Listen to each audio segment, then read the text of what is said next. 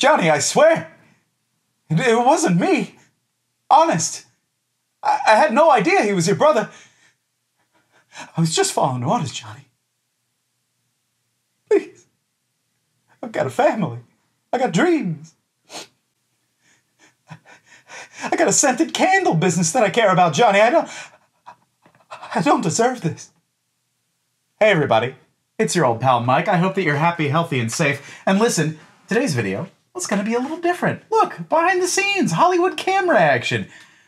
In the future, I plan on doing a video that's exhaustive and very conceptual and explains in detail how to set up offset guitars uh, the way that I believe they should be set up, uh, and certainly the way that Leo Fender sort of prescribed when he designed them.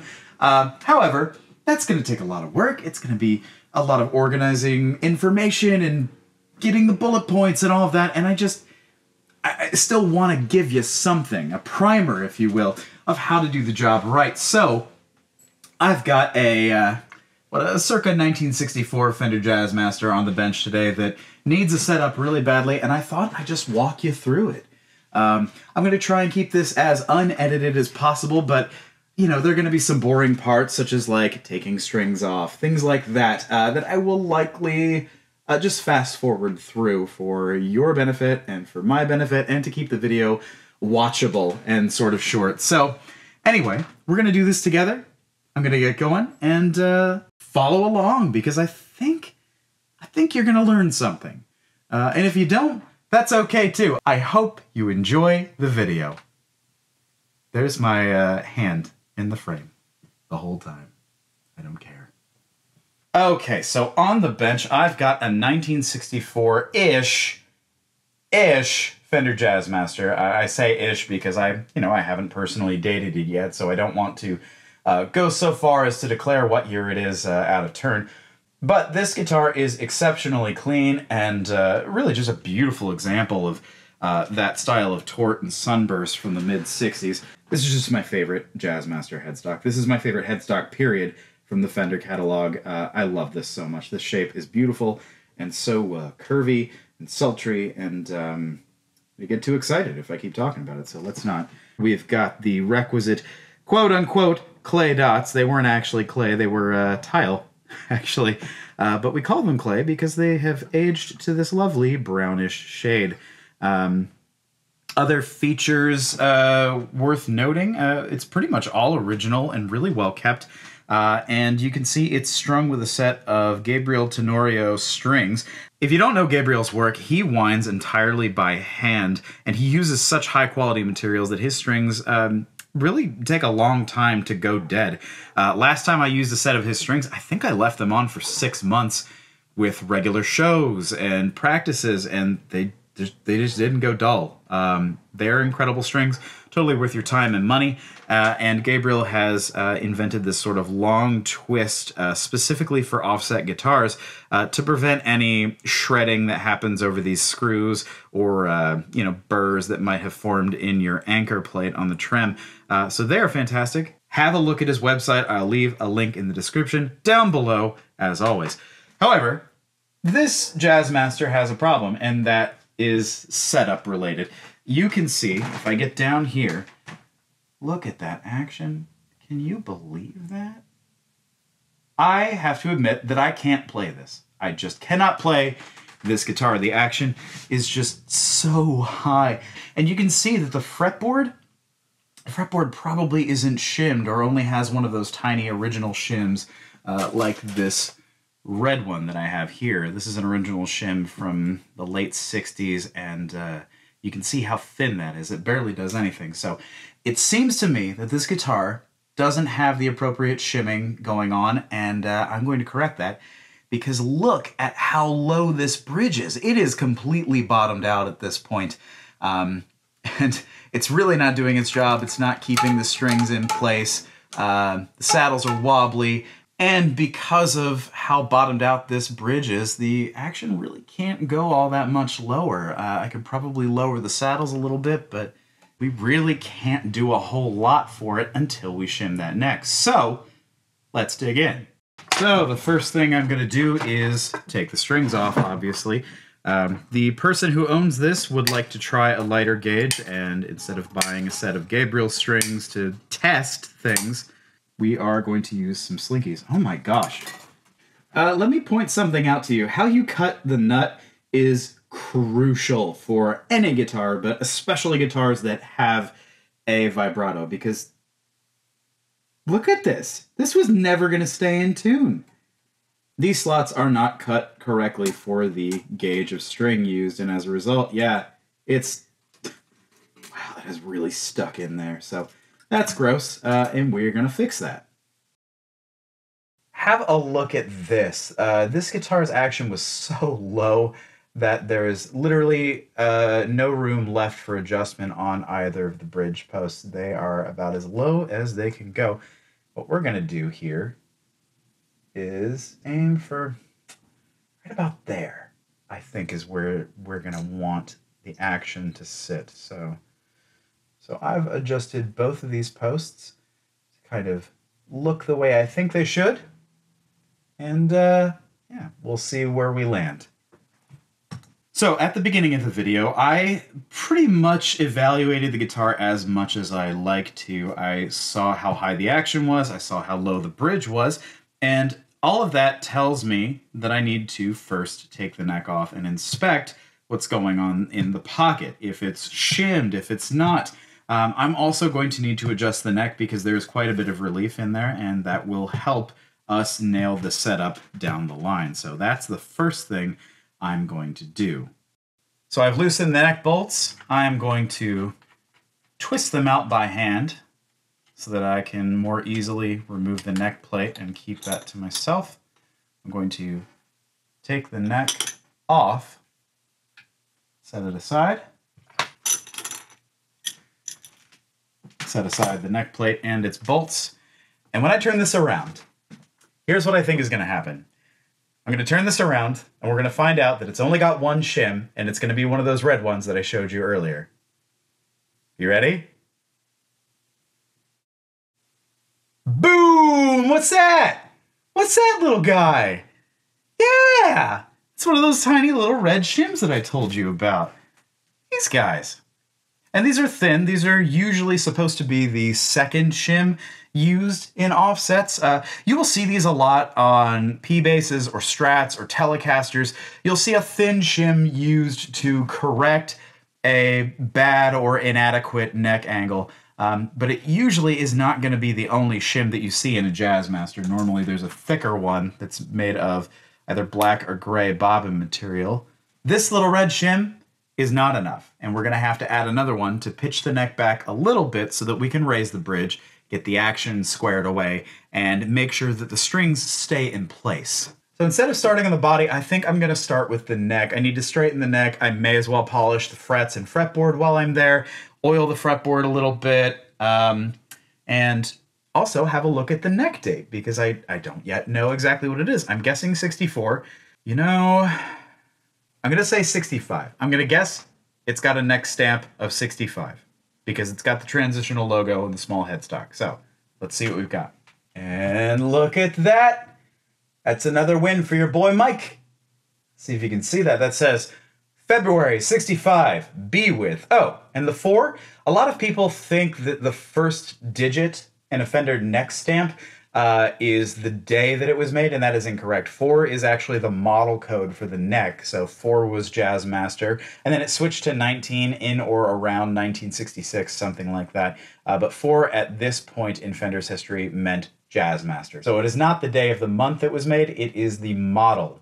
Have a look at that flame.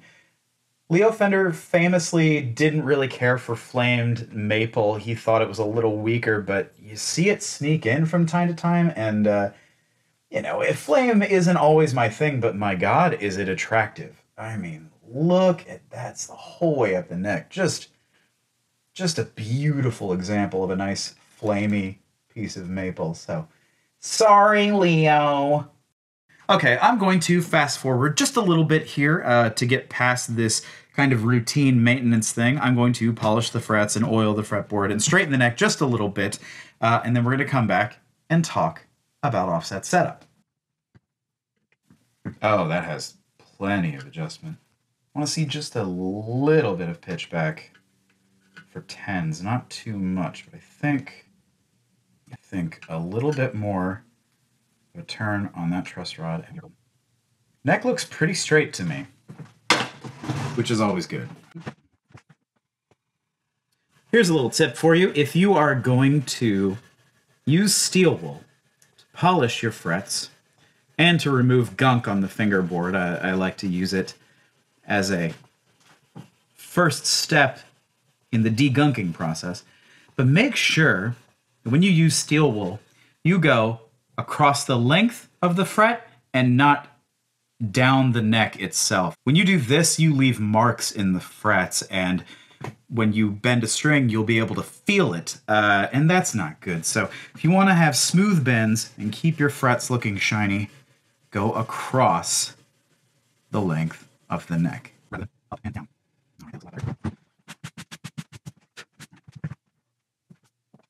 And to condition the fretboard, I'm going to use a little bit of my good friend Luis's oil. Uh, Luis goes by the name Modern Guitar Tech on Instagram, and he's a genius, and he's got his own line of polishes and fretboard conditioners. His uh, products pretty good, I think. All right, and real quick, I'm just going to wipe up the excess because I don't want to overdo it with oil. You can find yourself having some detrimental side effects if you use too much oil. Side effects such as frets popping out or oil pooling at the bottom of a uh, fret slot, and I don't want that. I just want it to get a little drink. Just a little drink in there, Are you thirsty little guy. Yes, you are. It's okay to talk to guitars uh, while you're working on them. In fact, I encourage it because I believe that a guitar will tell you what it needs. And this guitar, if you listen real close, I'm thirsty. Yeah, that's why I gave it a drink. You gotta care for them, like friends and family members and children's. Now, is this not just the most sultry neck that you ever saw? Really like the lines in this. Really nice, tight grain on this fretboard. Can you see that? I'm just gonna get closer. some really nice tight grain on this fretboard. I love to see it.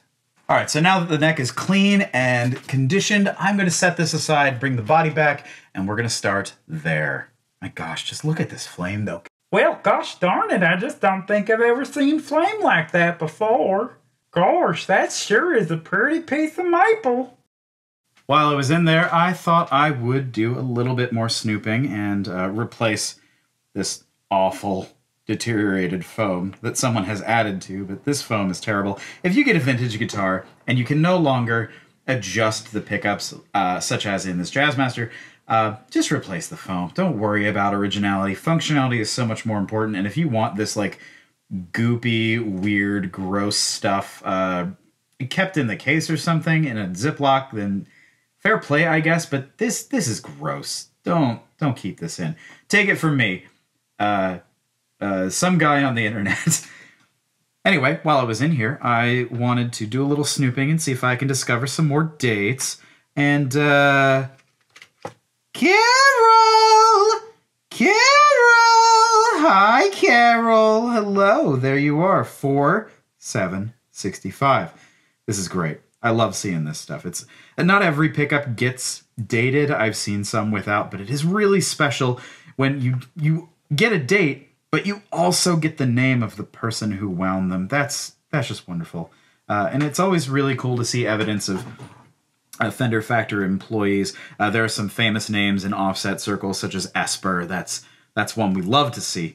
Uh, Carol is one that I've ran across a few times over the years, and uh, so hi, Carol. I also corrected an issue with the rhythm circuit switch. It was having trouble latching in place, so I fixed that. And now I'm pretty much ready to start the shimming process. I had some special shims that I was going to use for this project, but I, I think I've run out. I think I've used them all. But I do have this quarter degree full pocket StewMac shim. I'm going to use this. Uh, I'm going to have to shave off a little bit of the edges so it doesn't jut out uh, on the edge of the neck pocket. Uh, I'm also going to black it out with a magic marker so that it's not visible because, you know, just for looks, I like to do a clean, clean job. So I'm going to use this quarter degree StewMac shim. I'm going to use the original shim uh, there, and hopefully that'll give me enough neck angle. And if not, I've got other shims I can use, and we will uh, work it out. So I'm going to adjust the size of this shim for the pocket and uh, get back with you in a moment. Okay, so we've got ourselves a beautiful, well-polished neck ready to go. And just thread that bolt in by hand. This one.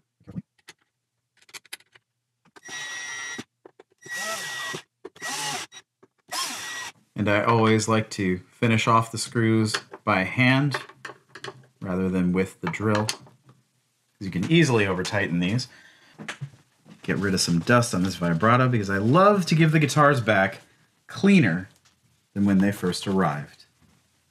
All right, so I've got the neck on and I've also got the bridge in the body. So let's have a look with this straight edge. So the amount of neck pitch. It's going over the pickups pretty nicely and ooh, it just touches the front lip of the bridge. So that's pretty good. I think from what I've been told of the player who owns it, uh, this action actually shouldn't be too low. Uh, he's a very vigorous rhythm player. It was brought in by his son, who is also an extremely vigorous rhythm player.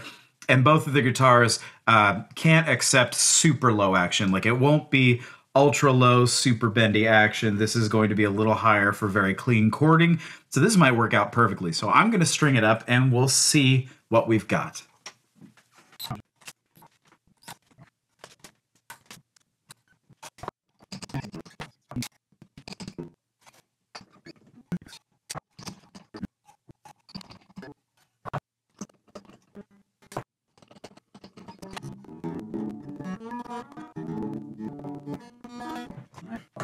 Get to work on this action. Fantastic radius gauges. Right, that action is way high, but now that we have bridge height, remember to always set overall bridge height with the posts, those little adjustment screws in the posts, because the saddles are there to help you set radius. I think I might need another shim. I don't think that's quite enough.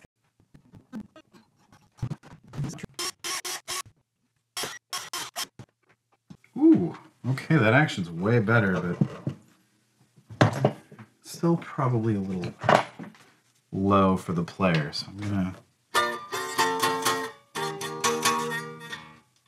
I actually need to raise the bridge. Okay, so the setup, I still have a few more steps to go, but check out that action. So much more playable than it was before. This is um, what I would call acceptable for action, although it's way too high for me personally. I think the owner of the guitar, like I said before, is a very vigorous rhythm player and needs the guitar to stand up to his right hand technique. So a little bit higher action is not a bad thing for them, but this is this is already so much better than it was.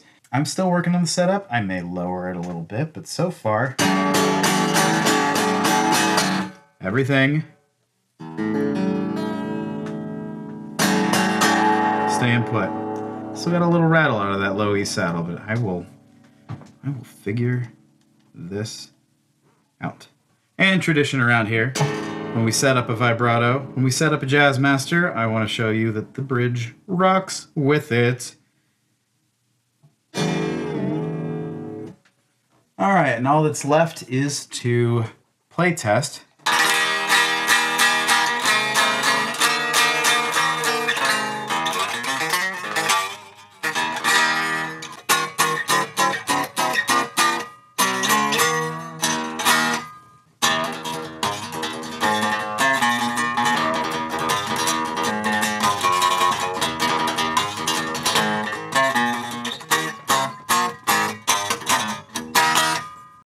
so the job is mostly done. I've got a few other final adjustments to make, and that's okay.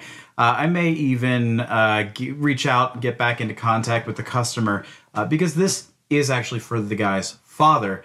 Uh, they both play Jazzmasters. They both play with pretty high action.